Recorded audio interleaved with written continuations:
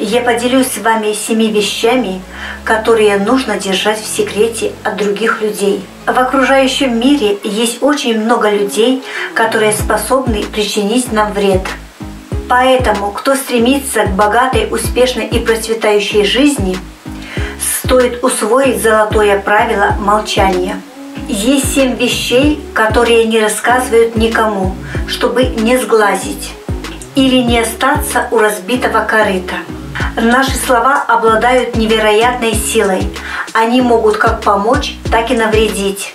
Поэтому эзотерики призывают людей к осторожности, потому что каждое произнесенное слово – это заряд энергии.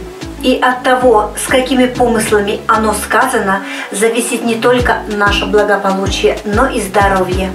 Познакомьтесь с основными темами разговора, могут привести вас к проблемам в жизни – и череде крупных неприятностей. Тем, кто опасается попасть под влияние недоброжелателей, стоит каждый день укреплять биополе, чтобы избежать проблем. Если вы хотите тоже привлекать в свою жизнь деньги, успех и благополучие, тогда досмотрите это видео до конца, ведь я расскажу, как это сделать. Приветствую всех на канале, с вами Елена Макаренко. И первый пункт – это планы. Со своими планами не стоит делиться ни с кем, особенно с далеко грядущими. Даже в кругу друзей могут найтись люди, которые позавидуют вашей успешности.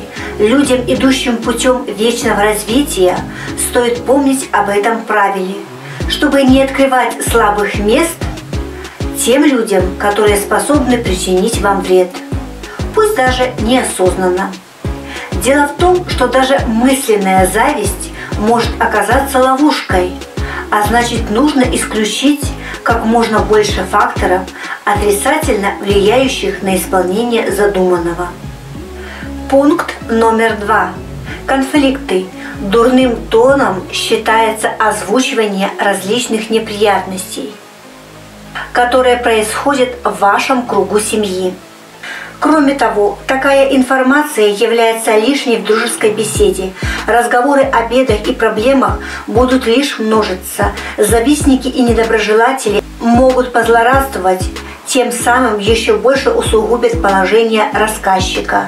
Чем меньше человек будет рассказывать о своих неприятностях, тем быстрее они у него закончатся благополучно. Третий пункт.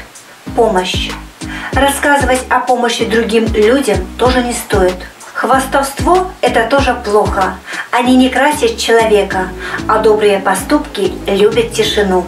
Чем меньше окружающие будут знать, тем меньше у них будет шансов так или иначе навредить человеку. Хвалить себя, конечно, можно, но делать это лучше перед зеркалом, а не в кругу людей, среди которых обязательно найдутся завистники. Четвертый пункт. Успехи. Рассказывать о своей успешности также не стоит.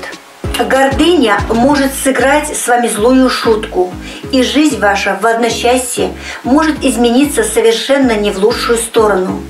Тем, кто добился успехов, достаточно будет получить одобрение со стороны своих родственников или близких друзей. Пятый пункт.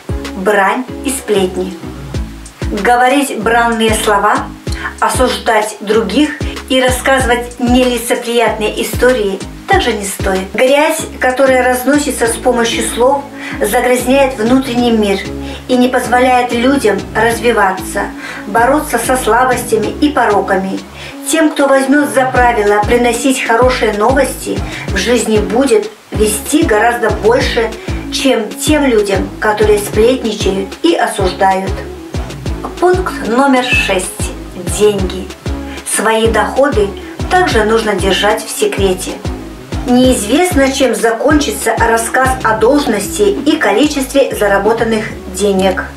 Может случиться и так, что завистники сыграют не лучшую роль в жизни того, кто решил похвастаться своим положением.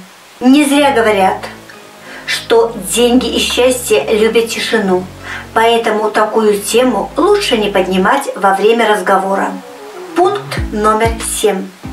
Дети и здоров. Разговоры о детях, их успехи и промахи – это не та тема для разговора в кругу посторонних людей. Тем нежнее возраст ребенка, тем он более подвержен отрицательному влиянию. А значит, нужно пресекать подобные разговоры, чтобы не навредить своим отпрыскам. О своем здоровье и болезнях тоже распространяться не стоит, чтобы не навлечь бед.